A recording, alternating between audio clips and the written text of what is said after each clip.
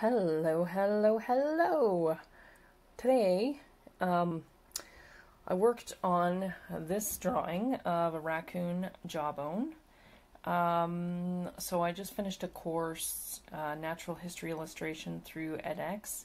It's an amazing course. I've taken it before. And um, at the beginning, it suggested that you do a drawing about, for a half an hour of, of an item. And then at the end of the course, six weeks later, you do it again. But the first drawing, after you do it, you put it in an envelope or something, and then you wait. You don't look at it, you don't take a picture of it, you don't know anything about it until at the end of the course, which is today. So I'm going to be comparing uh, this drawing that I did on February 15th to this drawing that I've done today, which is uh, March 27th, I believe. And we'll see how that goes. The last time um, when I did this, there was a huge difference. I'll see if I can find the pictures and put them in, but there was a huge difference last time.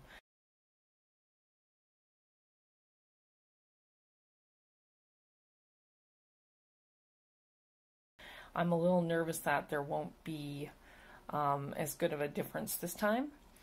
Um, but we'll see. Also, the raccoon jaw itself, um, this time is missing a tooth. I don't think it was missing a tooth in that spot. I have a few of them, but I don't think it was missing that uh, tooth um, right uh, there. There's a hole there. Um, and I'm not sure if I did it, uh, took it, drew it this way, or if I drew it uh, this way. So, I guess we'll find out in a minute. So I'm realizing that I did actually, uh, the other raccoon jawbone that I have down here is the one that I actually uh, drew.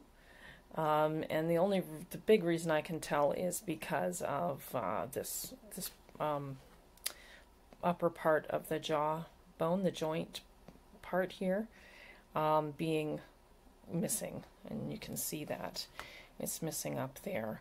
So big differences um, in these drawings. Um, this one, it uh, I think, if I'm looking at them side by side, um,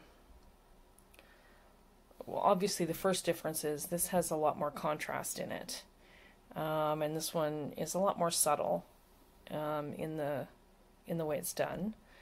Um, if I would have had more time, I would have gone over that one more. I was focusing more on getting shading a little bit smoother and um, getting proportions correct. Um, in this one, I noticed that this tooth is very rounded, and this one is kind of um, pointing out that way. Um, I I went in for a little more detail quickly here, um, and this is part of the contrast. But you can see the the um, way that the the bone is kind of um, more dirty here, and and uh, I kind of went a little bit more for that. And in this one, I didn't really get to detail very much. Um, I tried with this one using a negative space box. Um, so ultimately, I think this one has uh, more detail, more contrast. It's easier easier to see. This one though has a better base, I think, for um, moving forward to do a better drawing. So that's the difference in uh, in this one this time. Six weeks later, so this is the first one, and that's the second one um, for the Natural History Illustration course through edX, which again is fantastic. And if you get a chance to sign up for it, it's free. Um, if you get a chance and you want to sign up for it, improve, improve your um, realistic drawing skills, it's fantastic. Um, absolutely fantastic. Actually, I'll show you the final drawing that I did for um, for that class. Um, move these out of the way. The final drawing that I did was a Pelargonium peltatum, which is an ivy geranium. And um, that's the final drawing. And I'm very, very happy with this one. I think this is the best pencil sketch I've done ever. So, um, anyway, good luck with your drawing skills.